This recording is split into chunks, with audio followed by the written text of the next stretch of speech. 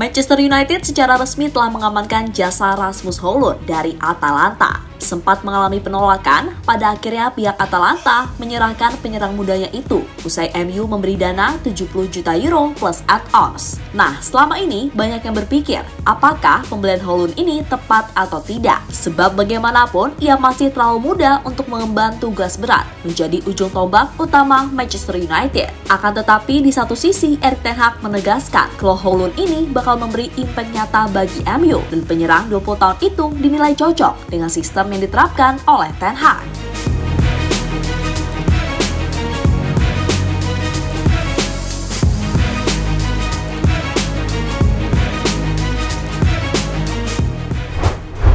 Pelan tapi pasti, Manchester United telah berhasil mengamankan sejumlah incaran utama mereka. Setelah Mason Mount dan Andre Onana, kini Setan Merah baru saja merampungkan proses negosiasi dengan Atalanta terkait Rasmus Højlund. Ya, penyerang 20 tahun itu memang namanya tengah naik daun, di mana ia dianggap sebagai penyerang muda potensial yang ada saat ini. Meski begitu, tak sedikit yang meragukan kalau Højlund ini bakal cepat nyetel di MU.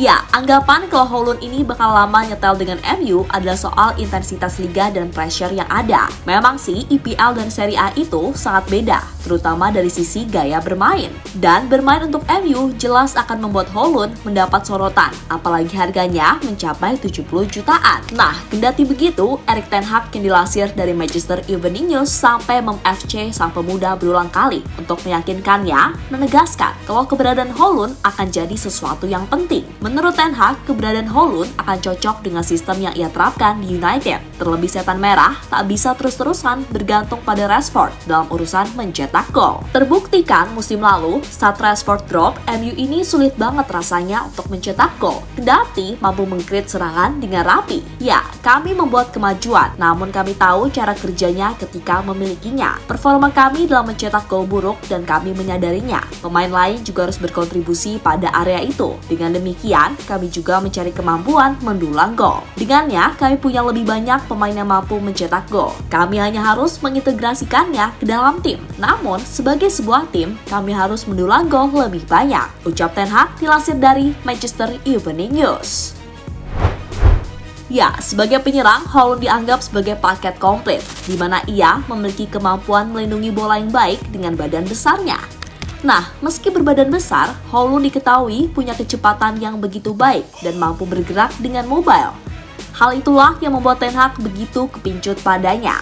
Meski begitu, menurut laporan dari Sports Mall, kalau berbicara soal kelemahan, Holund ini dianggap cuma punya satu kelemahan, yakni adalah pengalaman.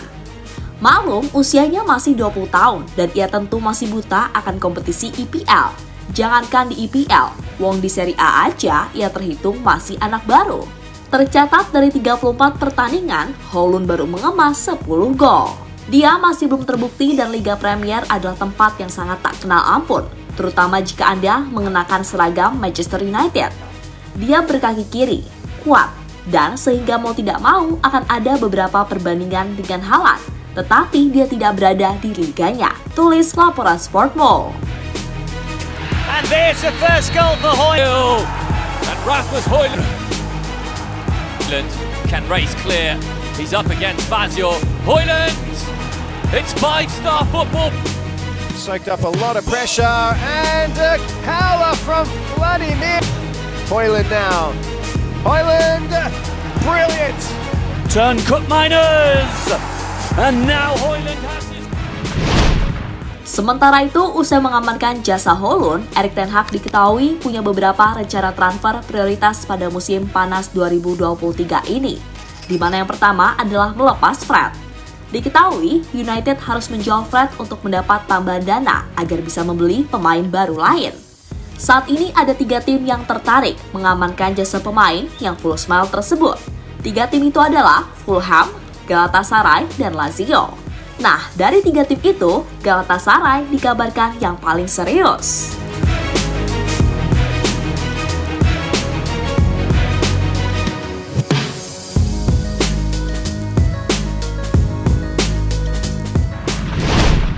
Nah, setelah menjual Fred, MU juga masih disibukkan untuk menjual Donny van de Beek dan Harry Maguire.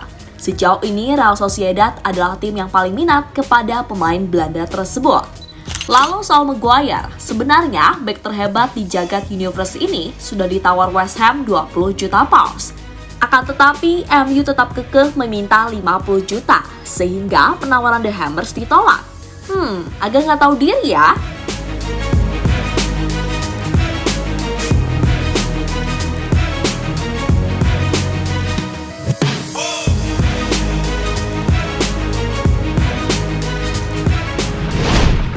Nah, andai semua rencana penjualan tiga pemain tadi terlaksana, maka setan merah sebisa mungkin akan segera satset mengamankan jasa Sofian Amrabat.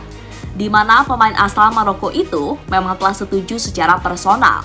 Tinggal gimana nanti MU mampu membayar biaya transfer atau tidak. Sebenarnya Fiorentina sendiri nggak ribet dan rela kok melepas gelandang andalannya itu di angka 30 juta pounds. Tapi ingat, MU sudah habis keluar duit banyak untuk beli Mount, Onana, Holland. Kalau aja masalah Glazer ini sudah clear, ya MU nggak akan semelas ini menunggu pemainnya laku untuk cari duit tambahan belanja.